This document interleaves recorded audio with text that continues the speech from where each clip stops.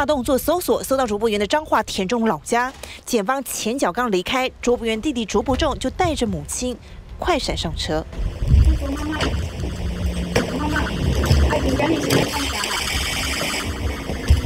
但检方不止搜老家，还一路搜到卓家的冷冻厂。卓博仲脸色凝重，在厂区门口徘徊，看着检方带走一箱箱证物。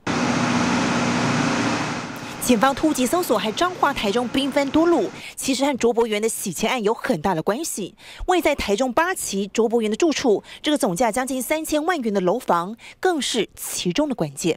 天底下哪有被告来搜索原告的道理？这样违法搜索的行为，我们一定告到底。检方查出这栋大楼里，其中一层是卓博源夫妇自己住，另一层是卓博源的亲戚住所。但是疑点重重的是，卓博源自己住的内户是一名丁姓商人代表出面向屋主买的，说是代替卓博源购买，但是资金来源不明，而且买入之后一直没有过户，也没有申报财产。除了购物疑云之外，警方另外追查一笔是三年前卓博源的亲戚汇往日本的款项，金额是五千多万元，当时还被美国洗钱防治机构拦截，也很起人疑窦。一个被告身份的朱建福检察官违法搜索原告，天喜下岂有被告来搜索原告的道理？